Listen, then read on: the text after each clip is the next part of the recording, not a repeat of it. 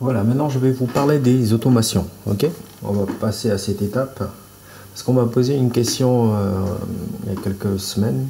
Comment faire un, une fois que votre un fondu à la fin, tout simplement, c'est-à-dire que votre morceau se termine avec un avec un volume qui se baisse progressivement à la fin pour faire une belle fin en fait, d'accord? Je vais vous montrer. Il faut juste que vous créez il faut créer la piste du master parce que c'est une piste, si vous voulez, auxiliaire ou un bus, cette piste-là. C'est pas une piste MIDI ni une piste ni une piste audio. Il faut la créer. Vous venez ici, cliquez droit et vous faites créer. Normalement, c'est ici. Attendez, parce que ça fait un moment. c'est là, créer piste. Et comme je l'ai déjà fait, vous voyez, vous faites créer piste, par exemple master, il va me créer une piste de master ici. Vous voyez Mais moi je l'avais déjà fait, euh, mon master, euh, je l'avais fait bien avant. C'est pour ça. Voilà, je vais mettre ça ici. Ah, il ne veut pas descendre. Si, si, il faut que tu descendes. Ok, bon, on va le faire avec le master, comme ça vous allez voir. D'accord? Hop, ici la fin. Je vais avancer.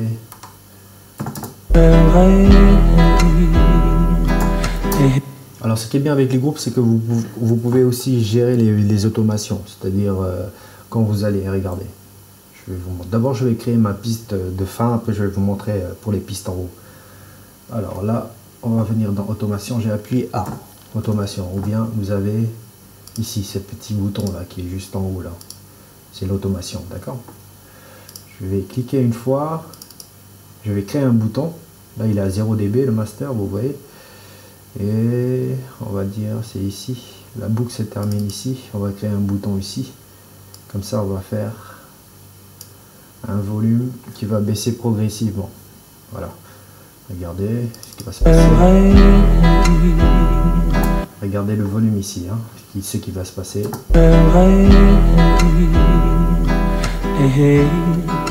Vous voyez, il baisse automatiquement, j'ai rien touché. J'ai juste programmé et il baisse tout seul. Tout, tout simplement. Alors là, je l'avais fait bien avant. Mes automations, c'est pour ça. Je vais le faire euh, pour ma basse. Vous voyez ma basse, j'avais fait, euh, j'avais créé une automation aussi, comme ça, ça descend euh, vers le bas.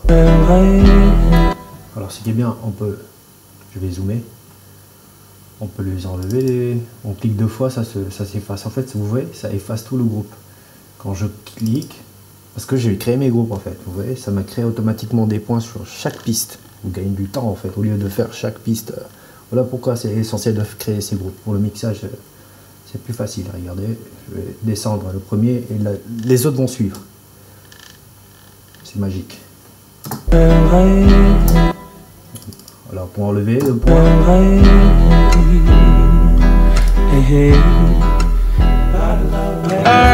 Vous voyez ma table elle bouge en même temps. C'est pratique. Hop.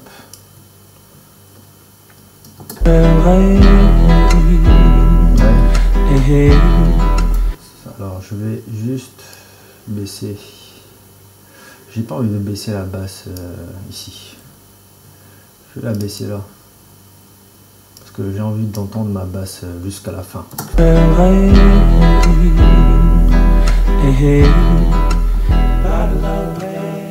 ça c'est... mes basses sont là. Je vais avancer.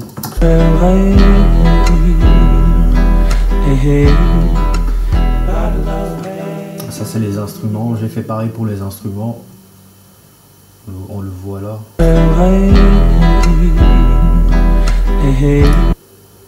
Il y a quoi là? Il y a du piano.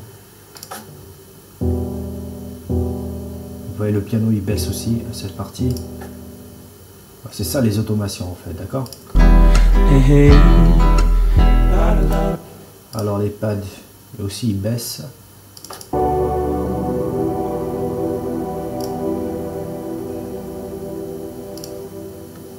Comme ça c'est à vous de gérer votre volume, tout simplement. Alors je peux faire pareil ici. Je vais vous montrer aussi l'automation panne, on peut le faire aussi. Regardez. Alors là, ce pad là par exemple, je vais venir au début.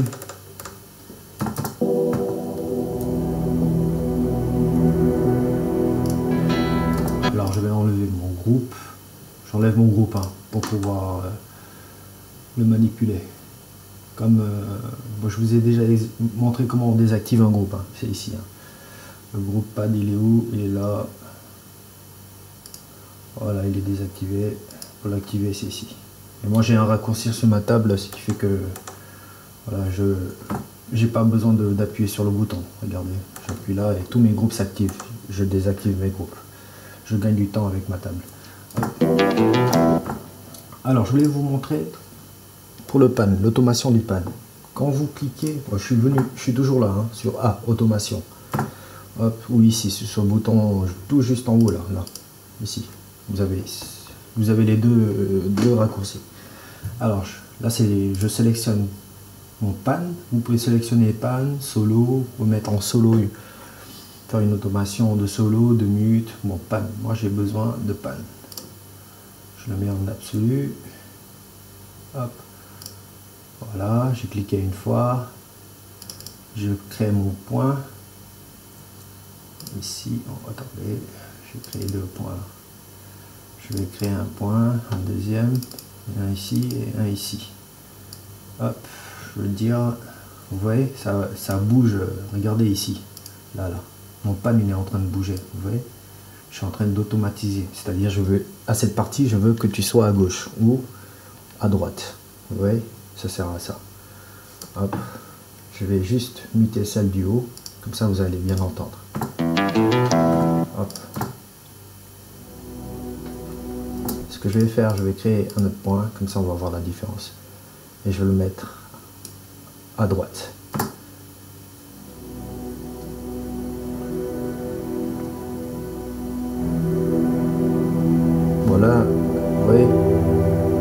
C'est à vous de bien l'amener.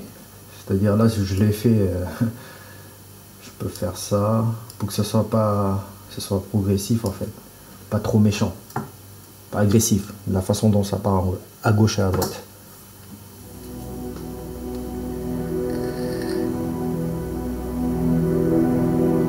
C'est mieux.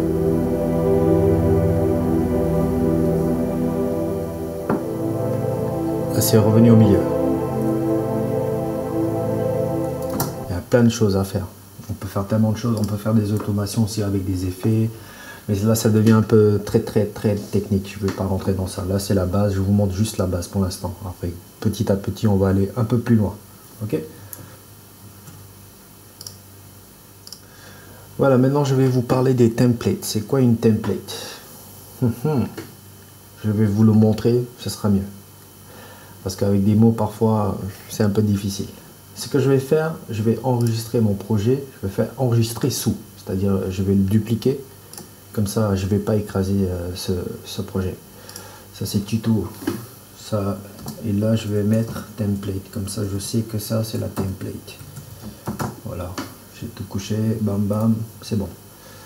Voilà. Template. Hop. Je prends tout et je supprime. Là, je vais me faire ma template.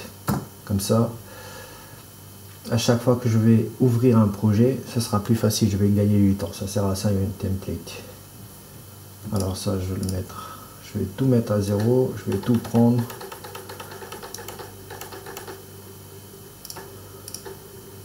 Ouais ça par contre je voulais le mettre en bas mais il veut pas. Alors là je vais mettre euh, je mets un cap. Comme ça je sais que c'est bon la cap est là voilà je mets tout à zéro en fait tout simplement comme ça, à chaque fois que je vais, euh, vous allez comprendre. Regardez, mon, liner, je peux le laisser. Euh, je vais enlever les effets. Alors, initialiser la tranche. Alors, il est à quel Il est au 27. Bon, allez. Je vais réinitialiser, ça va enlever tous les effets. Hop. Bim. Mais sauf que mon bus 27, je veux qu'il soit dans mon bus 27. Voilà, je l'ai remis dans mon bus 27. je le mets comme ça. Ça, c'est mon liner. Alors, tout ça. Bon, après, c'est des pistes audio. Hein.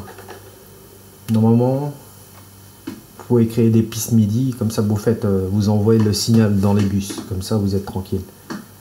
Tout simplement. Voilà, j'ai effacé. C'est juste qu'il faut effacer. Voilà, là, j'ai tout effacé. Comme ça, j'ai une template. Ce que je vais faire, je vais faire. Je vais faire enregistrer comme modèle. C'est une modèle, c'est une template. Ok? Et je vais l'appeler euh, template mix red rouge. Voilà. Et là, maintenant, je ferme mon projet. Regardez ce qui va se passer. Non, ne pas enregistrer. Ouvrir, nouveau. Ah non, non, je voulais pas faire ça ouvrir à partir d'une template. Voilà, c'est ici. À partir d'un modèle, il est là. Vous voyez? Hop, choisir. Voilà, et vous gagnez du temps. Tout est là, toutes vos pistes. Après, vous modifiez petit à petit. Hein. C'est vous, euh, vous le personnalisez petit à petit par rapport à comment vous avancez. Comme ça, ça vous évite de refaire les mêmes manips tout le temps, tout le temps. Vous voyez comment je suis feignant C'est plus facile en fait. Après, euh, une template, ça s'améliore petit à petit au fil des années.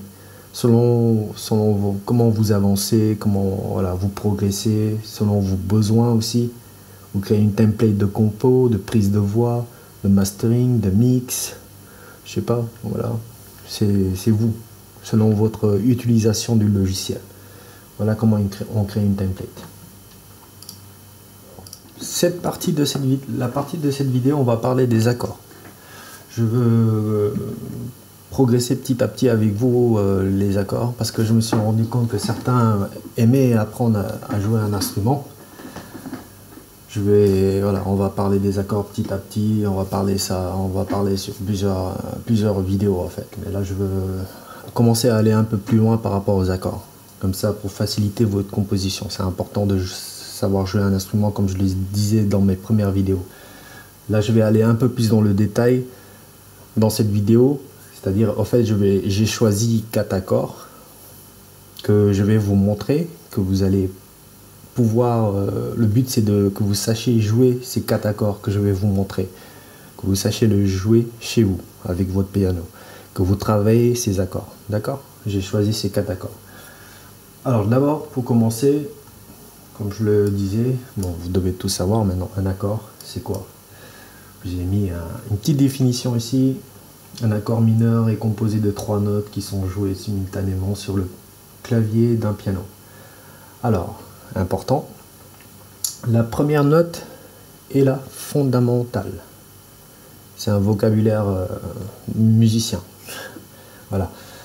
La première note, c'est toujours la fondamentale. C'est ça qui va définir l'accord euh, de la première, euh, la, comment expliquer? C'est ce qui va définir le, nom de l'accord en fait. C'est la fondamentale, c'est la première note. C'est la note qui donne le nom de l'accord, tout simplement. Voilà. La deuxième note est la tierce. D'accord? Dans l'accord, il y a trois. Dans l'accord mineur, il y a trois, trois notes. La deuxième, c'est la tierce. Et la troisième, c'est la quinte. Voilà, il faut que vous commenciez à comprendre ce vocabulaire, d'accord? Alors, voici les trois accords que j'ai choisis. Je vous ai fait un petit graphique. Attendez. Hop, ça, je vais le bouger. Il est là. Voilà. Voilà mes trois accords. Je vais l'ouvrir. Je vais l'ouvrir comme ça, ce sera plus simple. Avec le schéma. Voilà. que j'arrive à bien le poser. Voilà, ils sont là. Mes quatre accords que je veux que vous sachiez jouer avec votre piano. Ok? Alors, le premier, c'est un Si majeur. Je vais vous envoyer des supports aussi avec, euh, des, avec des graphiques comme celui-ci il y a différents accords. Parce que dans un accord, on peut avoir plusieurs combinaisons. Ok? Là, j'ai pris, j'ai pris quatre combinaisons, mais normalement, il y a plusieurs combinaisons. Je vais vous envoyer des, supports, d'accord, pour commencer déjà à parler de ça, des accords, petit à petit. Ok?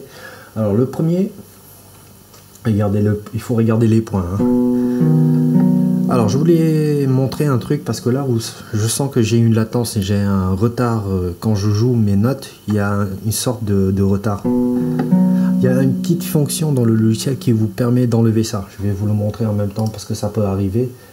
Alors, vous venez, parce que là, je l'ai déjà activé, c'est celui-ci, c'est ça, ce qui est là, là.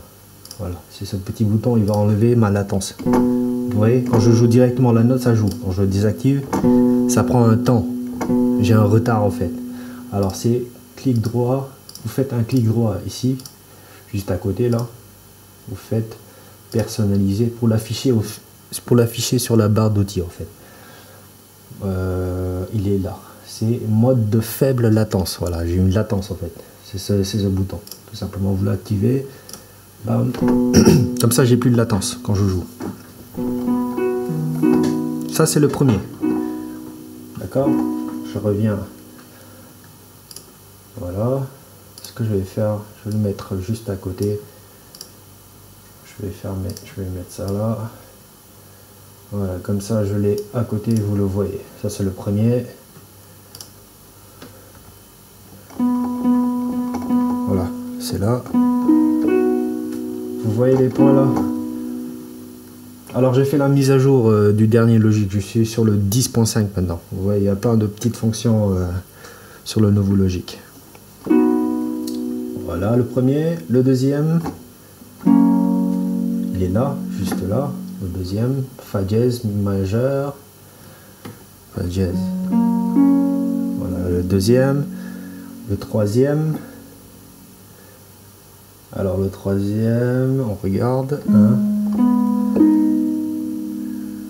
Le troisième, premier, deuxième, troisième, et le dernier. Ok, c'est un Mi majeur. Voilà, il faut que vous fassiez un travail sur ça. J'ai choisi ces quatre pour commencer déjà à vous mettre dedans, que vous, vous commencez à travailler votre jeu demain petit à petit, pour ceux qui ça intéresse. Hein. C'est pour ça que je fais cette vidéo, parce que je sais qu'il y a certains qui voudraient apprendre à jouer euh, le piano.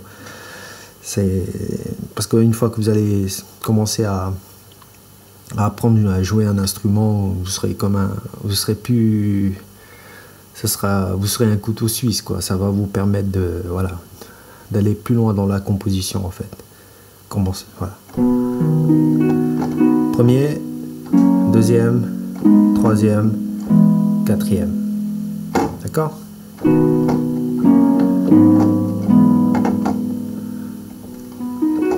Je vais monter d'octave.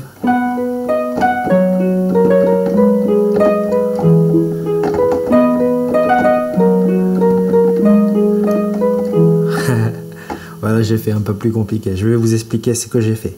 C'est très très très très très simple, vous allez voir. Je vais vous montrer la main gauche c'est qu'elle joue dans ces quatre accords. En fait, la main gauche va juste jouer les fondamentales par rapport à la définition que je vous ai donnée au début. Vous vous rappelez C'est la première note du premier accord, la fondamentale. La main gauche, elle va juste jouer ça. Alors ça va être ça la première, la deuxième, la troisième et la quatrième. Et la main droite va compléter les autres notes. C'est-à-dire elle va jouer la, dans, elle va jouer la deuxième et la troisième note de l'accord. Ok? Alors le premier, la première note du premier accord. Maintenant, la deuxième note toujours du premier accord, ça va être ça. Et la troisième note du premier accord, vous voyez la main droite, elle joue ces deux-là. Et quand je joue, quand je fais, je joue les deux mains, vous avez vu? J'ai en fait j'ai joué progressivement. Main gauche. Tout simplement. C'est juste ça. Ok? Ok, deuxième accord. Troisième. Quatrième. Maintenant je mets mon fondamental. Deuxième fondamental, troisième, vous voyez c'est complémentaire, et quatrième, vous Tout simplement. D'accord Vous avez vu En ça joue fondamental. C'est simple en fait. Quand je plaque,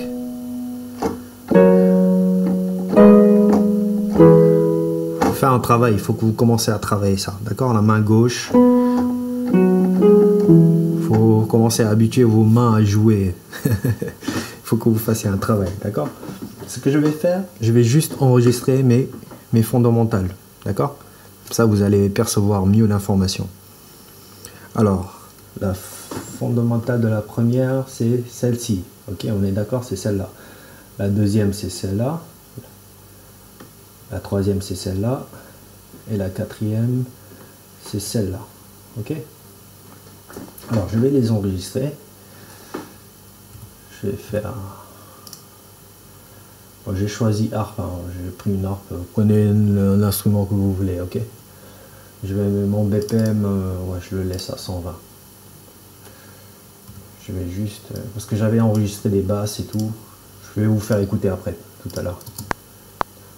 Bon, peut-être je vais le mettre parce que là... Vous voyez basses, ma basse joue sur les, les, les fondamentales. Je sais pas si on dit fondamentaux ou fondamentales. voilà, sur les premières notes, voilà, fondamentales. Mais joue, ma basse joue que sur ça. Première, deuxième, troisième, quatrième. Ok? Tout simplement. Maintenant, je vais le supporter. Je vais le jouer aussi avec mon, mon, harpe. Comme ça, vous allez mieux l'entendre aussi peut-être.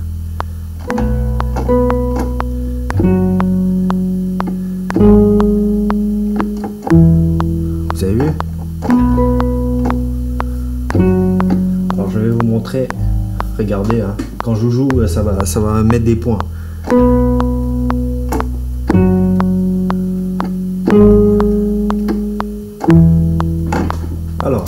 Alors,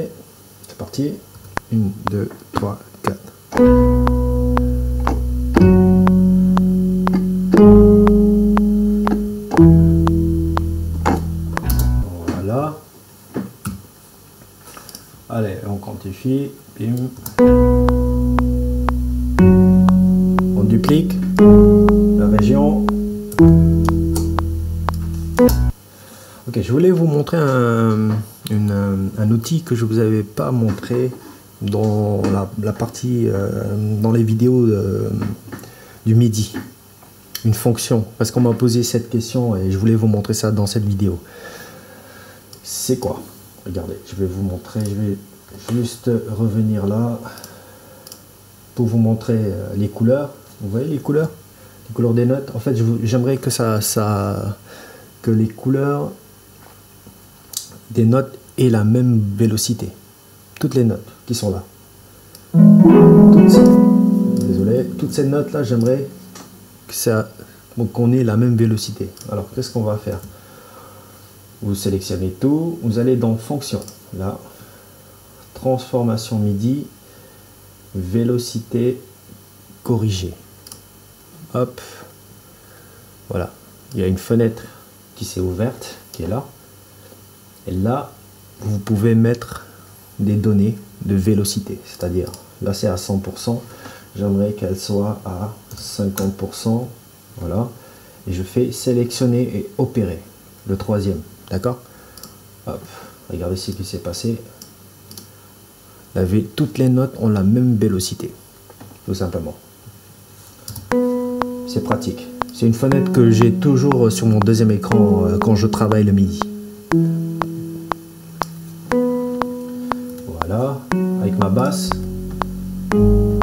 Les fondamentales que je viens d'enregistrer.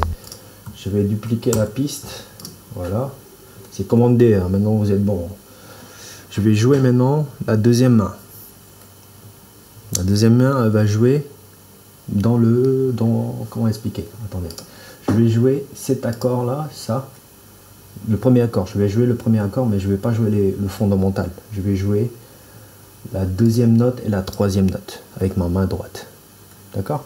parce que j'ai déjà enregistré mes, mon fondamental de chaque accord. J'espère que vous me suivez. Alors, mon, mon premier accord, ça va être ça. Attendez, je vais mettre là.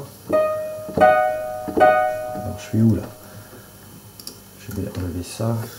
Ouais, vous le voyez là? En haut, attendez, je vais monter. Je l'ai rajouté quand même la fondamentale. Elle est là. C'est celle-là. Deuxième note et troisième note. Je vais jouer en même temps la deuxième note et la troisième note. Je vais la plaquer en fait, je vais plaquer les deux notes en même temps. Vous avez vu? Voilà. Et quand vous jouez avec les deux mains, en fait moi j'ai enregistré séparément pour vous faciliter l'enregistrement. Mais normalement vous devez enregistrer l'ensemble euh, en même temps. J'ai séparé comme ça, progressivement, petit à petit ça va venir. D'accord? Alors ça va être ça, deuxième, troisième, quatrième. D'accord? Je vais rajouter les, deux notes. Les deux notes c'est quoi? C'est la quinte et la quoi? Alors, le vocabulaire. On va voir le vocabulaire. Alors, c'est où? Qu'est-ce qu'il m'a fait là? Je vais revenir ici. Je vais vous envoyer tous les supports plus tard, d'accord? Voilà, c'est là. La première note, c'est la fondamentale. C'est la note qui donne le nom de l'accord. La deuxième note est la tierce. Je joue la tierce et la quinte avec la main droite. Mais je peux jouer aussi la fondamentale avec la main droite pour donner encore un peu plus d'harmonie. Voilà. D'accord? C'est la tierce et la quinte que je joue tierce, quinte, tierce, quinte, tierce, quinte, tierce, quinte, tierce, quinte. D'accord? Tout simplement. Je vais enregistrer maintenant.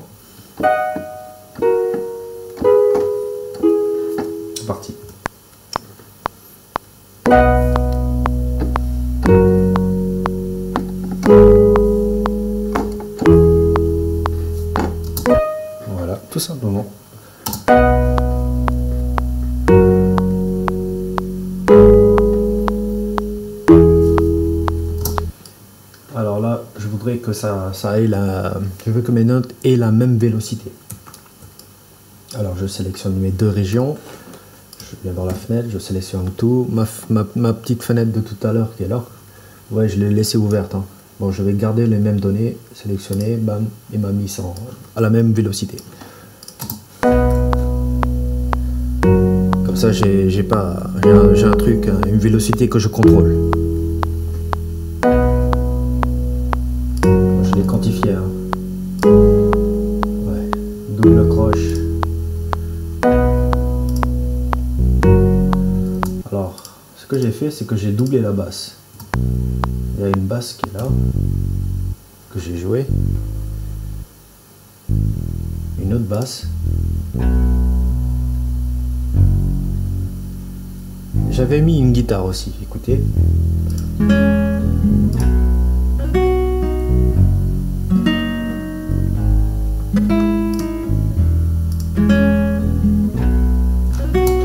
Là, ce que j'ai fait, c'est que j'ai enregistré une guitare euh, au piano. Je l'ai quantifié, mais quand je l'ai quantifié, il y avait des notes qui n'étaient pas bien, parce que j'ai mis beaucoup de nuances dans mon jeu, j'ai joué des contretemps sur des notes en fait, et ça a mal quantifié. Ce qui fait que j'ai fait un flex, un flex mais sauf que dans le flex, il y a des notes qui sont mal, euh, qui, qui rentrent pas bien en fait, qui jouent trop vite euh, par rapport à mon jeu. Je vais vous montrer une astuce en même temps par rapport au flex. Alors là, j'ai mis ça en, je vais le mettre en mono, comme c'est une guitare, d'accord? Je vais enlever mes basses. je vais enlever cette, ça, cette partie là.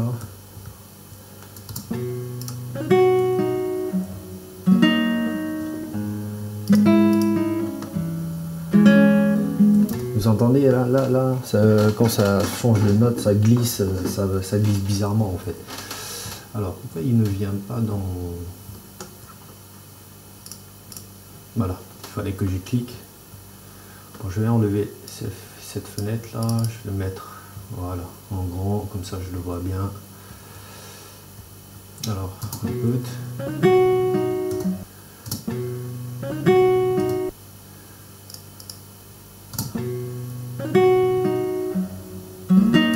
Alors, vous l'entendez là, ici, je vais enlever là. J'enlève juste les points en fait, pour que ça soit naturel.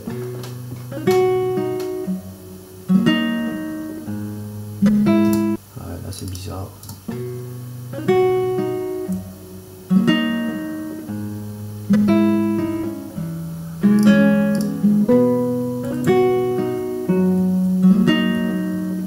mis ma harpe.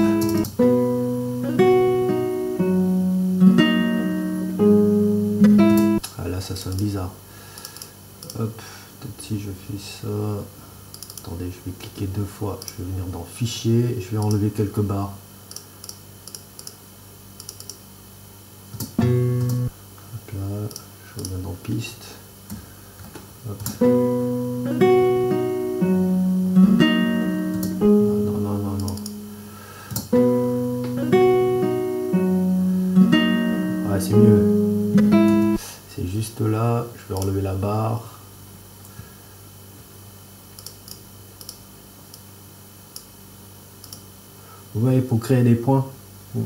Je descends parce qu'on m'a déjà posé la question, je pense.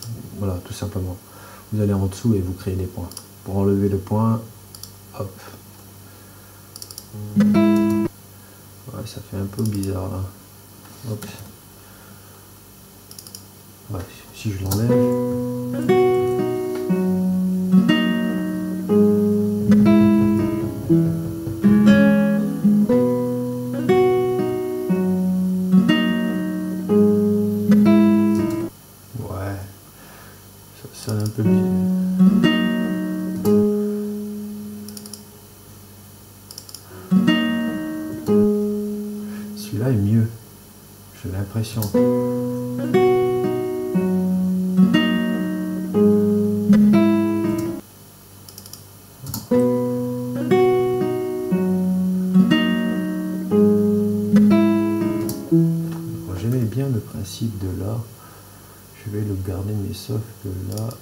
Voilà, je vais faire plutôt ça.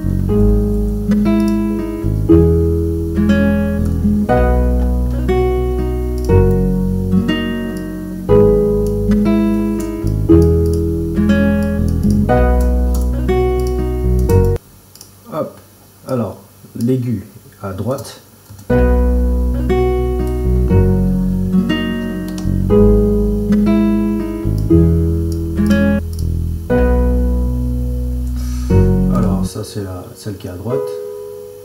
Celle qui est à gauche. Attendez. Voilà, on va le mettre là. L'aigu, on va le mettre là. Alors. Nickel, voilà, on a nos accords. Ce que j'aimerais bien que vous fassiez, c'est que vous jouez, que vous jouez ces, ces accords en fait.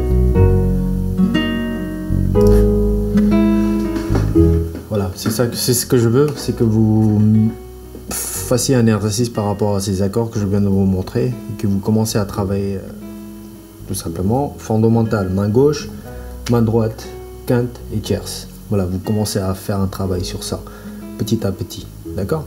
Voilà, c'est tout pour moi. Bonne journée ou bonne soirée. Ciao, ciao. Peace, one love.